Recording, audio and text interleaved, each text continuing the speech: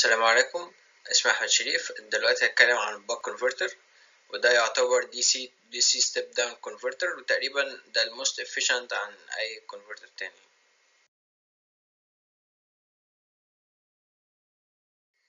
أول حاجة عملنا analysis ال circuit وجبنا ال derivations لل equations أول حاجة حطينا شوية assumptions. عملنا assume ان ال circuit is operating in a steady state. تاني حاجة إن inductor current is continuous. تالت حاجة إن switching period is حاطين له رمز T وال switch is closed for time D times T and open for time 1 minus D all times T and the components are ideal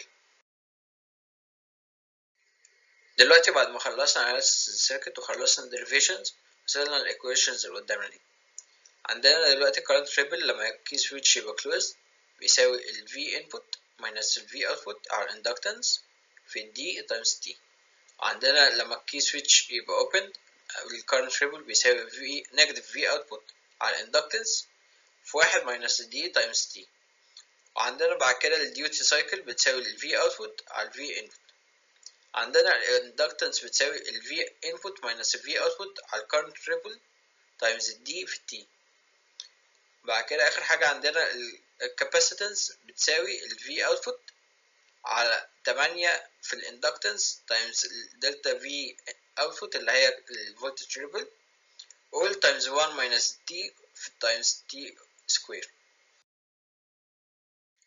دلوقتي هنتكلم عن ال design بتاع ال converter كان عندنا شوية givens ال given بتاع ال buck converter يدخل له 12 فولت المطلوب إن هو يطلع 5 فولت عند 10 امبير ومطلوب ان output voltage ripple يبقى أقل من 20 ملي فولت وال inductor current ripple يبقى أقل من 10% دلوقتي إحنا عملنا assumption ال frequency إن هي 40 كيلو هرتز ودي تعتبر أعلى من ال hearing level عشان متتسمعش وتعتبر كويسة يعني عشان ما يبقاش فيه loss كتير في ال circuit دلوقتي إحنا استخدمنا equations اللي إحنا طلعناها في ال analysis عشان نطلع النتائج اللي قدامنا دي. أول حاجة طلعنا ال duty cycle بتساوي خمسة على اتناشر.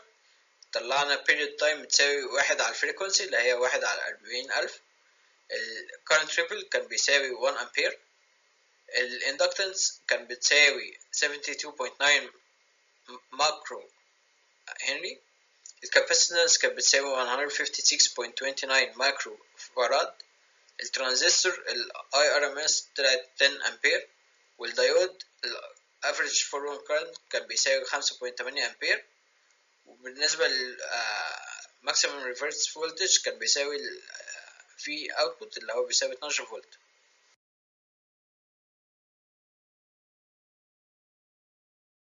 Hello everyone, I hope you all are having a nice day. I am Mohammed Sajib, a student of Faculty of Engineering in Cairo University. So I'm going to talk about the boost converter. So let's get started. As you can already see, we have a diagram of the circuit. We have a voltage source. We have the inductance, a switch that closes and opens periodically. We have a diode, a capacitor, and the voltage output. So before we start our analysis, we have to uh, make some assumptions. So the first assumptions here we have is the steady state condition is applied. Secondly, the current in the inductor is always positive. Thirdly, the capacitor is very large and the output voltage is held constant at V output. We, have, we also have to assume the components are ideal. And lastly, we have, we have to assume the switching period is T and the switch is closed for a time D into T. Here D is the duty ratio and we have to assume that uh, the switch is open for a time which is 1 minus D multiplied by as you can see we have a topic called direct equation for boost circuit. So we have done our analysis in our report and we have derived the equations. So the first equation is the current when the circuit is closed. The second one is current when the circuit is open. And then we have the equation of the duty ratio the voltage output. And then there is the inductance equation. And then there is the equation for capacitance. And finally the transistor value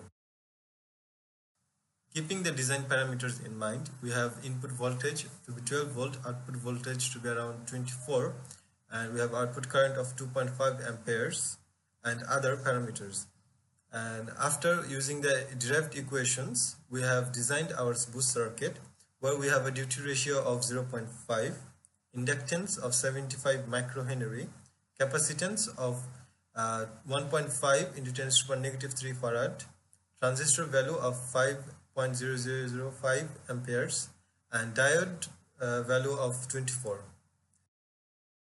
عليكم ورحمة الله وبركاته. أنا أحمد مصطفى مصلح. إن شاء الله هكلمكم عن ال simulation بتاعة ال buck converter وال boost converter هنبتدي أول حاجة بال buck converter simulation إزاي عملنا إزاي عملنا simulation لل buck converter أول حاجة طبعا إن إحنا استخدمنا برنامج Simulink في ال simulation بتاعتنا. أول حاجة أول خطوة إن أنا بإنسيرت الكومبوننت وبكونكتهم مع بعض بحيث إن هما يدوني شكل ال buck converter النهائي.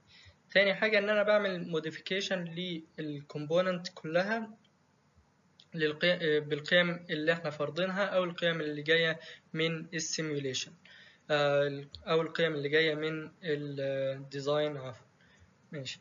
ال step رقم ثلاثة إن أنا بختار ال component اللي أنا محتاج أقيس ال volt وال current بتاعتها وأجيب ال current وال volt measurement device اللي موجودة في ال Simulink وأقيسها. آخر خطوة إن أنا بعمل run لل simulation وبطلع القيم ونقارنها بالقيم اللي جاية من ال... طبعا دي صورة أوضح للشكل شكل ال converter على ال Simulink طبعا ده عبارة عن scope بيتيح لي إن أنا أ show ال result بتاعتي. آخر طبعا آخر حاجة ديت ال result. ال switch volt وال I RMS وال diode volt وال diode current وال inductor current وال V out وال I out زي ما إحنا شايفين طبعا كل كل القيم متوافقة طبعا مع ال design. ال inductor ripples ما ما تخطناش الحد المطلوب وال V out بخمسة بخمسة فولت زي زي ما إحنا متوقعين من ال design وال I out برضو بعشرة امبير دلوقتي هنتكلم عن ال boost converter simulation طبعا نفس الخطوات اللي اتبعناها في ال buck converter هي نفس الخطوات بتاعة ال boost converter مع اختلاف مع اختلاف شكل ال circuit. فهنا ده شكل ال circuit على ال boost converter طبعا إن شاء الله كل حاجة واضحة. ودي طبعا ال result اللي طالعة من ال simulation ال V out ب 24 فولت وال I out ب خمسة بخمسة أمبير. وده ال capacitor current وال IRMS بخمسة وال switch volt وال diode current وال diode volt. بكده نكون خلصنا شرح ال simulation. إن شاء الله علي هيكلمنا عن ال buck boost.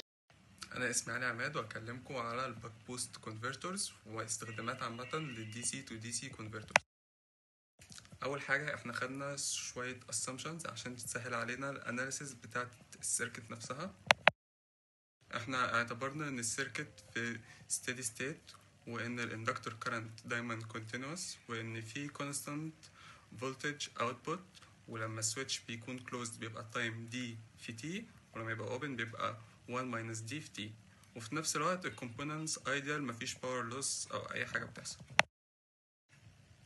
وبعد كده حسبنا ال current في حالة إن ال switch closed وال switch open وطلعت قدامنا ال equations دي وحسبنا ال I minimum وال I maximum وطلعت قدامنا ال two equations اللي موجودين قدامكم في ال slides وبعد كده حسبنا ال output voltage ripple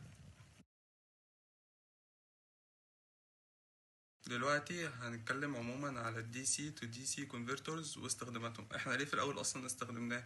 عشان هو بي step down ال voltage من high voltage source to lower voltage source وفي نفس الوقت بي match ال load بتاع الباور سبلاي وبيأيزوليت البرايمري والسكندري سيركت بتاعت أي جهاز. زي ما بنشوف في شواحن الموبايل وشواحن اللابتوب أنت بتحط الشاحن في الفيشة فبيجيله voltage من source كبير فأنت المفروض تحتاج إن أنت تقلله عشان خاطر الشاحن والجهاز اللي عندك ما يتحرقش. فده ساعتها وظيفة ال DC to DC converters. ودي كل ال resources اللي إحنا استخدمناها عشان نعمل analysis و design لل converters وال circuits اللي عندنا. بس كده شكرا.